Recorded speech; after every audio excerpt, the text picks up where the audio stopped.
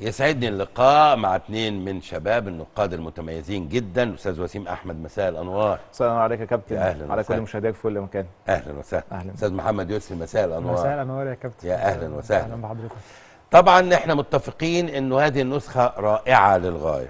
نبدأ مع حضرتك النهارده. المغرب قدمت ملحمة أمام أسبانيا. رأيك في إدارة الركراكي وفي المباراة؟ لا طبعا الواحد مبدئيا إحنا يعني أنا واحد من الناس فخور جدا يا كابتن النهارده. وأنا بتفرج على المنتخب المغربي وإنجاز ده أول مرة بيتحقق يعني وصول منتخب عربي لدور. الثمانيه فخور جدا بأشقائنا في المغرب. الركراكي الحقيقة النهارده قدم مباراة رائعة جدا. أنت. عشان تلعب قدام منتخب أسبانيا منتخب عنده الاستحواذ عالي جدا نص ملعب قوي جدا جدا.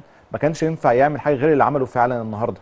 كان لازم يقفل دفاعاته كويس جدا يضغط على لعيبة خط النص. شفنا النهارده سفيان المرابط رائع جدا في نص الملعب مقاتل وتلعب على المرتدات لأن عندك اتنين بيجيدوا المرتدات عندهم مهارة عالية جدا على الأطراف سواء كان زياش في الجنب اليمين أو كان سفيان بوفال. والله جت في كورة من انطلاقة بمهارة فردية لحد منهم آه كان تمام وهتخلص المباراة. ما جاتش فهوصل لركلات الترجيح اللي عندي فيها ميزة كبيرة وهي ياسين بونو لأن ياسين بونو مميز جدا في النقطة دي. فطبعا أدار المباراة بشكل رائع جدا. الناحية الثانية يعني منتخب إسبانيا حقيقة أنا يعني كنت شايف إنه كان لويس إنريكي كان يبدأ بمراتا أنا شايف إنه عدم البدء بمراتا أثر كتير هجوميا على لأن يعني يعني لما نشوف أسينسيو هو أسينسيو متحرك آه أكثر تحركا يا محمد في ال في ال في ال في, ال في الناحية الهجومية لكن الأكثر حسما هو مراتا ولو كان بدأ بدري كان ممكن يكون ليه دور لكن الحمد لله إنه ما بدأش عشان نفرح بمنتخب المغرب. والله ولو بدأ النهارده المغرب كان عالي جدا جدا يعني. طبعا ما شاء الله طب يعني. طبعا. جميل. ف- لا اتفضل يا اسكندر آه لا ف... لكن النقطه اللي عايزينها يا كابتن لازم نقف عندها ودي يعني موضوع مهم جدا يا محمد النهارده. هو التجربة فعلا المغربية وأنا شفتها يا كابتن وأنت بتتكلم قبل الفاصل. الموضوع ده محتاجين نقف عنده كتير. حضرتك ذكرت اللعيبة اللي موجودة في التشكيل كلها كلها محترفين في الخارج. بالظبط كده. وبالتالي إحنا لازم فعلا الفترة اللي جاية نركز. وإحنا يمكن هنا في عندنا شقين. شق اتكلمنا فيه هنا قبل كده المحترفين أصحاب الاصول المصرية. والشق الثاني انت اتكلمت فيها يا كابتن ويمكن محمد كمان يتكلم فيه إزاي نطلع محترفين هنا من مصر. وأنا النهارده لما بنتكلم يا كابتن انت قلت آه، حكيمي في باريس سان جيرمان أنا عندي النهارده لعيب في, باريس سان جيرمان اصول مصريه ومرحب إنه يلعب. ما حدش عارف عنه حاجة. في في أرسنال. من الصغار في السن. صغار السن ومن مختلف الأعمار يا كابتن. في لعيبة راصدينها من أول 12 سنة لحد 18 و20 سنة. وبالتالي لو كنا بنتكلم عن آه، خطة ل 2026 أو 2030 إحنا عندنا آه، فيتوريا موجود لحد أربع سنوات.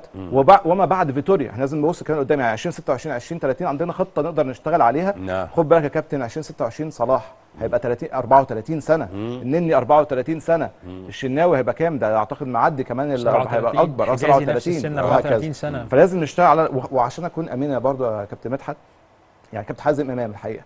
لا بيتواصل معايا وبيهتم. دكتور إيهاب الكومي بيهتم جدا و- وبحتاجه في أوقات كتير بلاقيه بس إحنا الموضوع لازم يا كابتن يكون بشكل مؤسسي مش هيمشي بحيث بالشكل ده. يتطور لازم يبقى. في إدارة جميل. للمحترفين. طيب أنا بتفق معاك تماما. فرص بقى آه، آه، الفريق أمام البرتغال. آه زي ما أنت قلت المنتخب المغربي عنده قائمه مليانة لعيبة محترفين. ثلاث لعيبة بس اللي بيلعبوا في الدوري المغربي المحلي. آه لكن قبل ما نتكلم عن الفرص ضد البرتغال عايز أقول حاجة بس صغيرة عن منتخبنا. إحنا النهارده مفيش حد بيطلع آه، محترف آه، خالص بره مصر. صلاح من 2018 متألق مع ليفربول ومكسر الدنيا. في كام لاعب مصري فكر يكرر التجربة؟ صفر. مفيش حد. لو كان في حد محترف في أوروبا رجع مصر. فاللعيب دلوقتي لازم يكرر تجربة صلاح تاني. لكن لما الاقي الأندية بتدفع أرقام خرافية فيه وهنا بيبقى فيه نجومية ومن أقل حاجة بيعملها مع النادي بتاعه بيبقى نجم والناس كلها بتحب تصور معاه. هيطلع بره ليه؟ هي... ليه هيروح يتدرب في الساعة؟ أو ليه مثلا لما مفيش ي- العقلية مفيش لما يلاقي مثلا نادي جاي نادي بيلعب في دوري متوسط مثلا ما بيفكرش يروح نعم. كلهم بيبصوا على نموذج صلاح لما هو في ليفربول صلاح. بدأ مع بازل ومر فترات فشل مع تشيلسي بعدها رجع تاني مع فيورنتينا بقى أحسن ومع روما لحد ما بقى صلاح اللي كلنا عارفينه.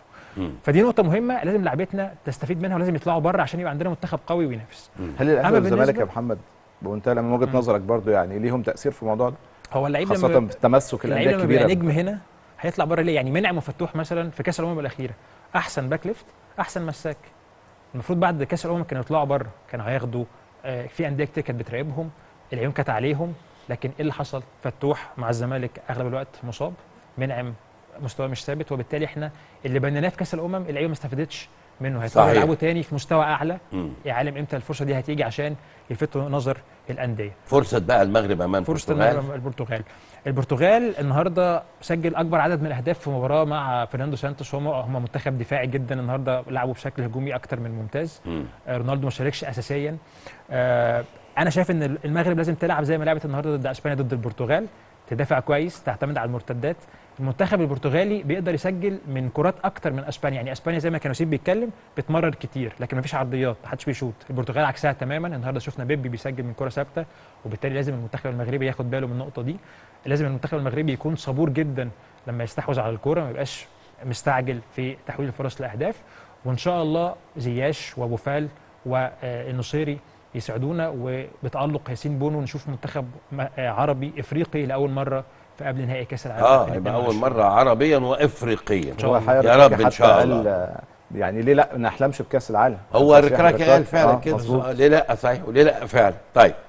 آه طبعا آه البرازيل وتألقها الكبير وطبعا فوزها الكبير أيضا. أمام كرواتيا وهل هي مرشحة كوريا. سؤال ليك ولكن؟ بعد بعد الفاصل.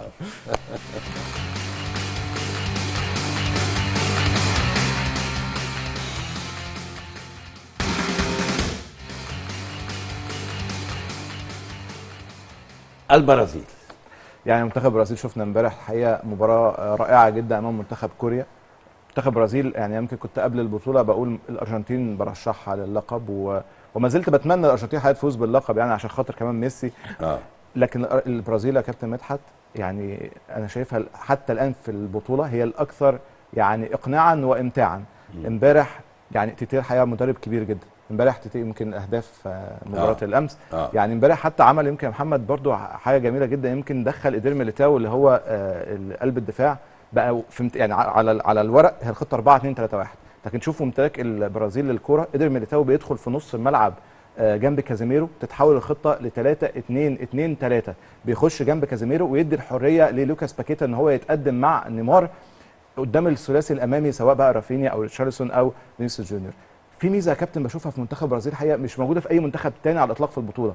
الرباعي الأمامي سواء نيمار ريتشارلسون فينيسيوس و آه، آه، مين الرابع؟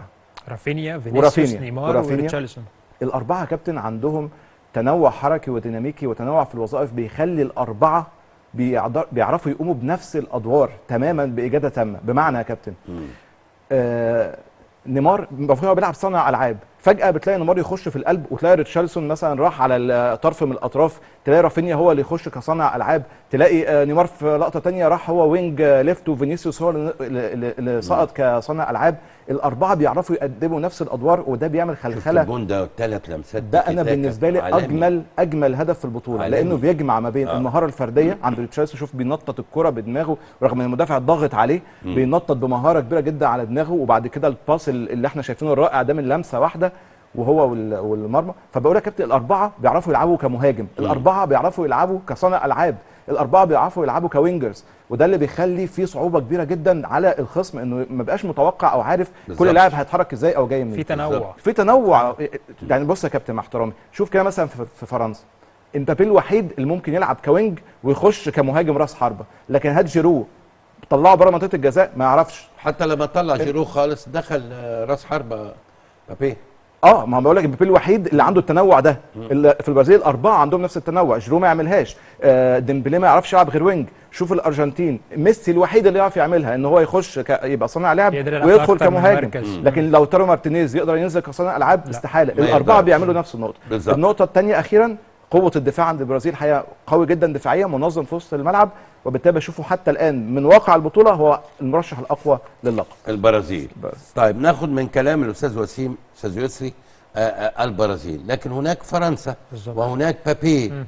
شايف فرصها إزاي في كأس العالم ومباراتها أمام إنجلترا هي فرصها كبيرة طبعا في كأس العالم فرنسا عكس البرازيل قابلت فرق أقوى دفاعيا وعملت أداء هجومي كويس. أه مفيش تنوع في مراكز اللعيبة لكن في تفاهم كبير ما بينهم ومبابي عمل بطولة أكتر من روعة. أعتقد إن هو لو وصلوا الفاينل هيحسم جائزه أفضل لاعب في البطولة. هو ما زال هداف لغاية دلوقتي. آه خمس أهداف لحد دلوقتي هو هداف البطولة.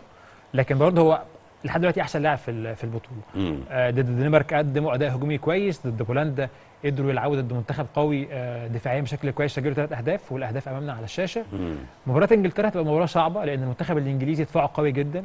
إنجلترا عندها نقطة آه، قوية جدا وهي الأهداف من الكرات الثابتة. سجلوا ضد إيران من من كرة ثابتة وضد السنغال أدائهم كان كويس وبالتالي هيبقى سلاح قوي ضد آه، فرنسا. لكن آه، دفاع فرنسا برضو قوي.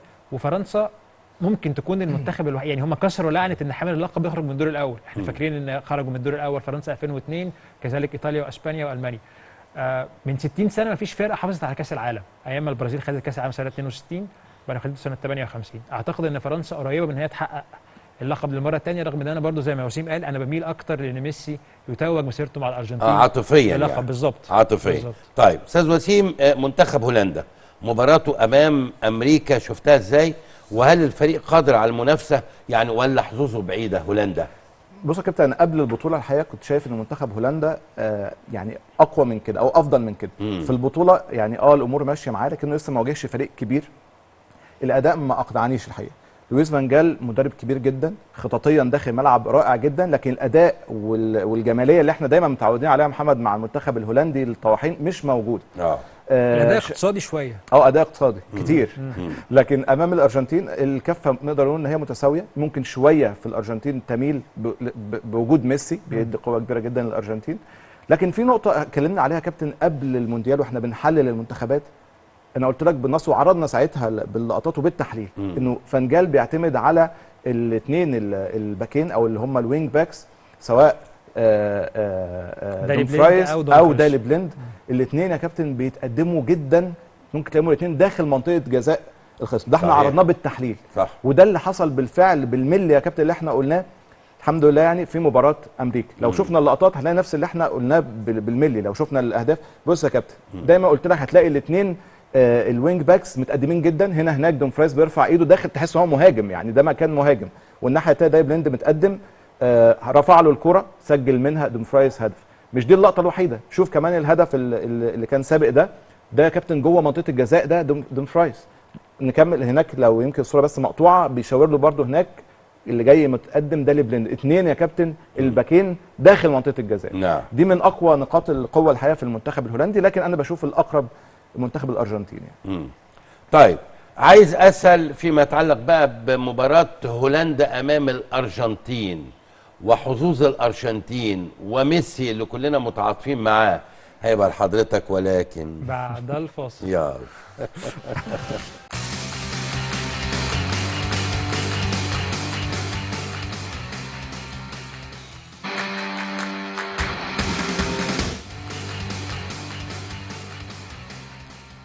آه الأرجنتين وكلنا متعاطفين معاه. مع ميسي. آه مع ميسي طبعا. آه لقاء مع هولندا من وجهة نظرك حظوظها وهل اللي قدمته الأرجنتين حتى هذه اللحظة يقنعك إنها ممكن تبقى بطل كأس العالم؟ لا هو لم يقنعني ولم يقنع أي حد. مم. لكن الجيل الحالي للأرجنتين ما قدمش أو عمره ما لعب ضد منتخب أوروبي قوي. هم أبطال الكوبا ضد أبطال أمريكا الجنوبية. حتى الماتشات الودية كلها كانت ضد منتخبات عربية أو ضد منتخبات آسيوية. ما فيش منتخب أوروبي قوي لعبوه غير منتخب إيطاليا. وبالتالي مواجهة هولندا هتبقى أول مواجهة قوية ليهم كمنتخب ضد منتخب أوروبي. آم، سكالوني عنده مجموعة روحها كويسة. اللعيبة حابة بعض اللعيبة عايزة تعمل حاجة لميسي تحديدا. بنشوف آه. دي باول دايما بيلعب بروح عالية. مارتينيز المات- الماتش اللي فات صد كورة من جارانج كول. أحد اكتشاف- اكتشافات وسيم. آه، نجم أستراليا كان آه، فرق جدا مع المنتخب الأرجنتيني في الماتش. برضو لوتارو آه، مارتينيز نزل أهدر كذا فرصة. لكن هولندا ما قدمتش أداء كويس لحد الآن في في كأس العالم. مم. الارجنتين عندها فرصة. آه، الماتش ده اللي هيدافع أحسن هو اللي هيكسب مش اللي هيهاجم اللي. هيدافع. آه المنتخبين هيكونوا متحفظين جدا على أمل ان هم يخطفوا جون. ده هدف ميسي الأول في منتخب أستراليا. آه. يعني حطها من من خرم إبرة يا كابتن. مم. آه استغل الكرة وشاطها بشكل أكتر من ممتاز. امكانياته آه ميسي عامل بطولة كويسة لكن هو بدنيا مش مش أحسن حاجة لحد دلوقتي لكن في منتخب في ماتش أستراليا كان كويس. أنا في رأيي بيحدث الفارق. جدا مم. جدا. وجوده كمان آه يعني سكالوني بيحاول في أغلب الوقت إن هو ما يخلوش يدافع لكن مم. في ماتش أستراليا كان بيدافع كتير جدا وبيحاول يلتحم في أكتر من كورة. آه لكن الم- المباراة هتبقى ممتعة جدا بين منتخبين. ليهم كمان إرث في كأس العالم بذكريات مونديال 98 لما بيركا مسجل هدف شهير جدا في المنتخب الأرجنتيني. آه طبعا. آه شخصيا أتعاطف مع ميسي وأوعد المشاهدين ان هتكون مباراة حلوة بين الأرجنتين وهولندا. يا رب إن شاء الله. لو طلبت من كل واحد يختار أبرز ثلاث لقطات عجبته في دور ال 16 نبدأ بيك يا أستاذ وسيم. يعني آه، في لقطات كتير اخرها طبعا النهارده المغرب بس في بعض اللقطات حضرناها أنا ومحمد. أبدأ باللقطة الأولى وهي آه لتشيزني حارس مرمى آه طبعا منتخب بولندا بعد آه. الخسارة. آه مع آه، ابنه؟ مع ابنه. لو نشوف اللقطة. يا على آه، اللقطه اللقطة دي أنا متوقف عندها كتير مم. لأن يعني مؤثرة جدا. دايما يا كابتن الطفل بيشوف القدوة في الأب. طبعا. فطبعا هو هنا لحظة انكسار الأب في عين الطفل دي بتبقى صعبة وازاي هنا تشيزني هو اللي بيحاول إن هو يعلمه بقى دروس الحياة وإن الرياضة دموعه. هي هزيمة وفوز ويمسح دموعه زي ما بنقول. اللقطة دي أنا عجبتني جدا. مم. اخترتها من ضمن اللقطات اللي يعني لازم كنت أتوقف عندها. فعلا عندك حق تمام. اللقطه آه. الثانية اللقطة الثانية هاجيمي موريسو آه، المدير الفني لمنتخب اليابان آه. لأن اليابان يعني بص يا كابتن اللقطة دي الراجل ده. بعد المباراة والهزيمة فضل واقف دقيقة كاملة بالشكل اللي إحنا شايفينه ده أمام الجمهور اللي كان حاضر الجمهور الياباني اللي كان حاضر في المباراة ودي برضه أنا بتوقف عندها لأن الحقيقة إحنا مفتقدين قوي يا كابتن ال- ال- الروح. الرياضية الاحترام الأخلاق اللي إحنا اتعودنا عليها وإحنا صغيرين اليابان النهارده بتدينا دروس مش بس في الكوره يا محمد. شوف الجمهور الياباني إزاي وهو بينظف دايما مدرجاته بعد ما يخلص. اللعيبة في أوضة اللبس إزاي بتنظف مكانها بعد ما بتخلص. النهارده كمان المدير الفني بيدي درس في الاحترام والأخلاق رغم إنه المفروض الجماهير هي اللي تحييه على الأداء اللي عمله. البطولي يكسب أسبانيا ويكسب ألمانيا لكن هو اللي بي- بينحني احتراما للجمهور دي لقطة ثانية اللقطة. الثالثه اللي عايز أتوقف عندها هي الاحتفال بتاع تيتي مدرب البرازيل مع آه لاعيبه آه منتخب آه البرازيل بعد هدف ريتشارلسون أول مرة تقريبا أشوف مدرب بيرقص مع اللعيبة. وده كابتن ليه دلالة عندي كبيرة جدا. الراجل ده هو رايح ياخد البطولة. يعني أي لاعب يا كابتن بيجيب هدف عادي بيرقص. إنما المدرب دايما هتلاقيه بيبقى قلقان. دايما هتلاقيه ممكن يعني إيه يتفاعل مع هدف لكن مش هيوصل درجة الرأس صح. إلا إذا كان الراجل ده عنده ثقة كاملة إن أنا رايح عارف ان أنا هاخد اللقب. مم. فدي دلالة كبيرة بالنسبة لي جميل. طيب. أستاذ يسري الثلاث لقطات بتوعك. المصورين عاملين مهرجان في المونديال وعملوا لنا لقطات كويسة جدا السنة دي. عايزين نعرض أول لقطة معانا. مم. آه المصور يعني عمل لقطة حلوة جدا هنا. دالي بليند وداني بليند الأب والوالد. الأب وال- واللاعب أنا آسف. آه. آه بيحتفل معاه بعد هدفه في مرمى المنتخب الأمريكي. بليند الابن آه كانت جات له آه إصابة في قلبه وهو بيلعب بصمام آه عشان قلبه آه كان عنده حصل فيه مشكلة زي اريكسن اللاعب بالدنمارك. آه. قدر مرة تانية يرجع يلعب كورة. آه، بليند الأب كان لاعب سابق في منتخب آه، هولندا وحاليا أحد أفراد الجهاز وهنا بيبارك له بعد هدفه في لقطة جميلة جدا. آه، لقطة شاعرية جدا بصراحة. قوي ويعني اتمنى بقى إن خلاص يروحوا عشان ميسي ياخد البطولة بعدها يعني. اللقطه الثانية اللقطة الثانية معانا هتكون هنا آه آه، إيفان بريسيتش لاعب كرواتيا وليفاكوفيتش حارس مرمى كرواتيا بعد مباراة اليابان. مم. وهو بي يعني بي بيبارك له إن هو كان سبب إن كرواتيا تتأهل وتتخطى اليابان لأن هو كان صاد ضربتين جزاء وكان ليه دور رئيسي في التأهل للدور الثاني زي النهارده ما عملوا مع ياسين بونو مع بونو ياسين نفس. الوضع. اللقطه اللقطه الثالثه الثالثه رباعي المنتخب البرازيلي آه. الخطير المرعب باكيتا وفينيسيوس ورافينيا ونيمار. البرازيل عموما يعني قدمت كل حاجة ممتعة حتى الاحتفالات. ضد ضد كوريا. آه لعبوا ماتش كويس جدا ووثقوه باللقطة الممتعة دي. آه كان نفسي يجيبوا اللقطة بقى وهم ماسكين اليافطة بتاع بيليه. بيليه آه. آه طبعا. هي آه لقطه هات دي لقطتي أنا بقى أهو. هاتها لي بقى يا أحمد دي بتاعتي أنا دي. كان فيها تكريم لأسطورة آه. آه وعرفان وتقدير ليه. وحتى كمان في أخبار قالت النهارده خرجت من ممثلين بيليه الرسميين إن بيليه حالته اتحسنت وإن شاء الله هيغادر المستشفى قريبا بإذن آه الله. آه. لقطة فيها عرف اهي بص جمال دي اختيار أنا بقى بعد إذنكم يعني. وكلهم اصطفوا حوالين بعض ووقفوا كل اللعيبة. تحية لبيليه باعتباره رمز من الرموز الكبيرة جدا اللي هم طول عمرهم باصين له على إن هو الأسطورة. هو طبعاً. وهو ما زال هو الأسطورة. وفي ظل الأزمة الصحية دي بترفع من روحه المعنوية. بالظبط كانت مهمة طيب جدا. في ثواني في ثواني. فرنسا وإنجلترا؟ لا فرنسا. فرنسا. فرنسا. الأرجنتين وهولندا؟ الأرجنتين إن شاء الله. الأرجنتين. عندك هنا المرة دي. برازيل وكرواتيا؟ البرازيل. البرازيل البرتغال والمغرب؟ آه إن شاء الله المغرب. المغرب. المغرب. المغرب. المغرب المغرب المغرب. شاء إن شاء الله. أستاذ وسيم شرفت ونورت. شكرا يا كابتن. ودايما شكراً. بكون سعيد في تواجدي معاك. يا رب يخليك. أستاذ يسري شرفت ونورت. شكرا جدا ليك يا كابتن. شكراً جداً جزيلاً. لحضرتك. غدا بمشيئة الرحمن لقاء جديد. أشكركم. والسلام عليكم ورحمة الله وبركاته.